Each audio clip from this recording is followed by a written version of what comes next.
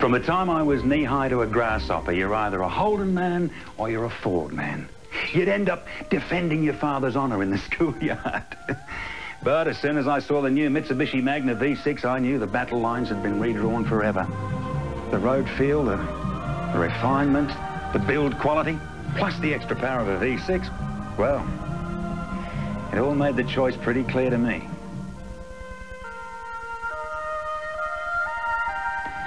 I'd say you're looking at the first of a new generation of Magna men.